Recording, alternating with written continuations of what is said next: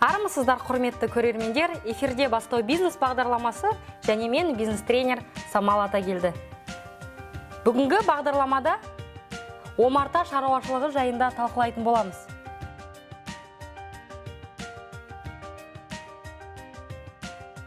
Омарта шаруашылығы бұл ауыл шаруашылығының дамыған бір саласы болып табылады. Ара өсіруге негізделген бизнес бұл негізінде бал ара ұясын және омартаны ұстауға жататын бизнес. Бұл бизнеспен айналысу арқылы бал ара балын балауыз ара желімі тозаңын және басқа да балара өнімдерін алуға болады. Табиғи жас балара өнімі қазіргі таңда азық түлік саласында да медицина саласында да әрқашан үлкен сұранысқа ие. Соңғы жылдары қазақстанда бұл сала шамамен баяу дамуда. Ал әлемнің көптеген елдерінде дәл осы бағытта омарта шаруашылығы орта және шағын бизнесте мүмкіндігі өте зор. Кәсіп ашарда ең қажетті жайттардың бірі өз бизнесімді бастаймын деген ниеттен кейін әрине бұл қаржы мәселесі. Қазіргі таңда мемлекет тарапынан әртүрлі бағдарламада қаржыландыру көздері қарастырылған. Соның бірі 2017-2021 жылға арналған нәтижелі жұмыспен қамту және жаппай кәсіпкерлікті дамыту бағдарламасы. Осы бағдарлама арқылы қаражатты келесі қаржы ұйымдарынан алуға болады. Ол агрокредиттік корпорация және ауыл шаруашылық қаржылай қолдау қоры. Бұл бағдарламалардың шарттары 18 миллион теңгеге дейінгі сомадағы қаражат ала аласыз. Несиелеу мерзімі 60 айды құрайды ал үстемдік сыйақы 6 пайыз. Осы пайызды жарты жыл сайын төлесеңіз болады ал негізгі қарызды қайтару жылына бір рет. Бастапқы кезде бизнес бастауда омарта шаруашылығымен айналысу үшін бізге не қажет? Біріншіден бизнестің орнын анықтап алған жөн. Омарта ұйымдастыру үшін құрғақ және желден қорғалған шағын жер учаскесі қажет. Сонымен қатар оның маңында орман бақша балды өсімдіктер өсетін шалғындар мен алаңдар болуы керек. Келесі кезең омарта сатып алу үшін бізге омартаның қолданылған әрі онша тозбаған түрін де алуыңызға болады. Бастапқы кезде он омарта сатып алудан бастауға болады. Егер де біз оны 20 мың теңгеден алатын болсақ бастапқы кезде бұған 200 мың теңге көлемінде ақша кетеді екен.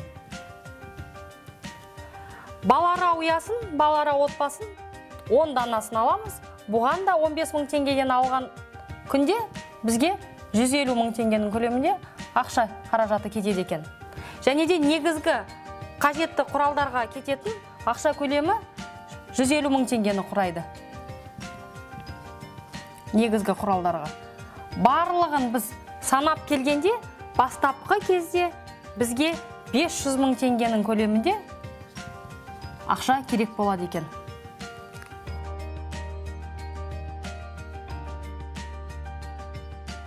Енді кірістерге келсек бүгінгі күні балдың бағасы нарықта 1200-1500 теңгеден тұрады. Балара отбасы шамамен бір маусымда бізге 20 литр бал беретін болса оны нарықтағы бағамен сататын болсақ жалпы біздің бір маусымдағы пайдамыз ол 300 мың теңгені құрайды екен бастапқы кезде. Тағы да айта кететін жайт омарташылықпен әуесқойлық тұрғыда айналысу яғни басқа жұмыс істей жүріп те айналысуға болады. Ал кім омарташылықпен кәсіби тұрғыда айналысатын болса оларда алпыс және одан да көп ара отбасы болады екен. Осы тамаша жәндіктердің арқасында кәсіппен айналысатын адам өзін жақсы қамтамасыз ете алады.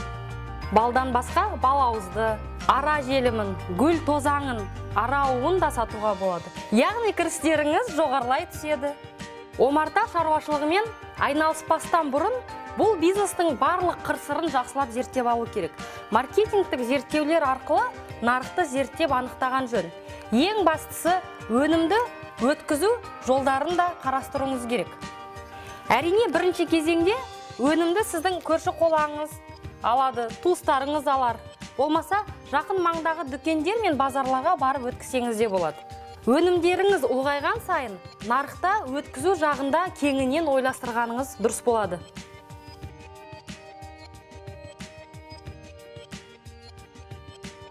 Омарта шаруашылығымен айналысу мақсатында біріншіден заңды түрде жұмыс жасау үшін сіз жеке кәсіпкер болып тіркелесіз салық режимінің айналымыңыздан жеңілдетілген түрімен 3 пайыз салық төлеп 25 адамға дейін өзіңізбен қосқанда жұмыс орнын аша аласыз. Және де кассалық аппарат сатып алып оны салық органдарына тіркеуге тұра келеді. Екіншіден ауданыңыздағы ветеринарлық қызмет көрсету орталығына барып омарта шаруашылығына қажетті құжаттарыңызды алуыңыз қажет. Кәсібіңіз тиімді жүру үшін халыққа қызмет көрсету орталығына барып электронды кілтіңізді алып егов нүкте kz порталына тіркеліп қажетті құжаттарды онлайн түрінде алып отыруыңызға болады. Ең басты айта кететін жайт сіздің бизнес жүргізуде қажетті сүйемелдеуді ауданыңыздағы өңірлік кәсіпкерлер палатасы ұсынады. Және де бизнесіңіз аяғынан тұрып кеткенше сізге барынша көмегін көрсетеді. Сондықтан да атамекен ұлттық кәсіпкерлер палатасына келіп бастау бизнес жобасына қатысыңыздар. Бүгінгі күнде омарта шаруашылығы жайында қысқа да нұсқа ақпаратымыз осы. Біліміңіз биік кәсібіңіз табысты болсын. Келесі кездескенше.